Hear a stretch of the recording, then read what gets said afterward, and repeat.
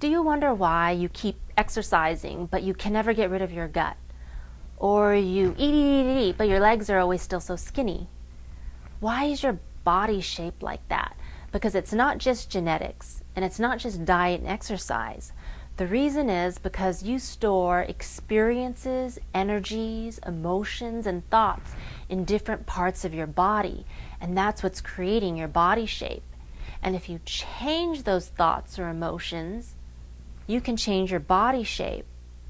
So let me give you an example.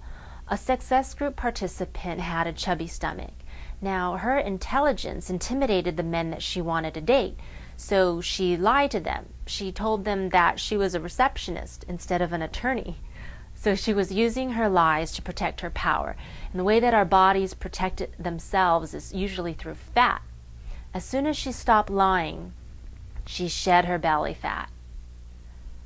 Another success group participant had thick legs, and she was entrenched in making money and dealing with running a business.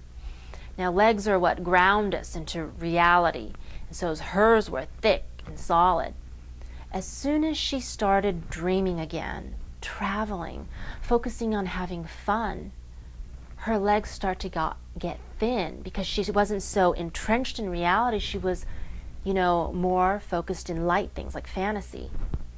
So you can do this workshop if you have cancer and you want to heal, you want to lose weight or change your body shape, you have a recurring pain or injury that keeps resurfacing. Sign up, and I look forward to co creating your new body shape with you.